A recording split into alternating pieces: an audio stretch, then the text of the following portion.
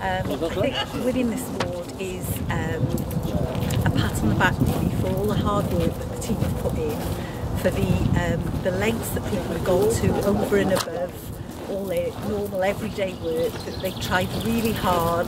People have sort of sacrificed to try and get things working. They've done extra hours um, you know lots lots of things that people have done over and above and I think it it's going to encourage them to keep going and to continue I hope.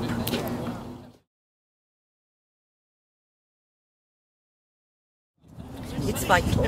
Um, without communicating it, without sharing it, uh, there's no um, impetus to continue with the change.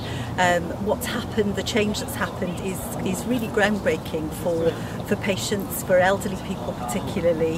Um, and the, that momentum needs to continue. If, if the fact that it's won an award isn't shared, then that momentum won't continue. And really, it needs to be spread further afield as well, you know, not just with Swansea Bay, but I'd love to see this an all Wales thing.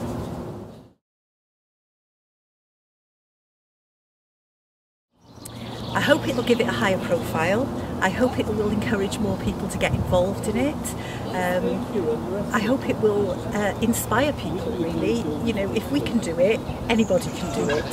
So I'm hoping that it will give them the impetus to, to have a go.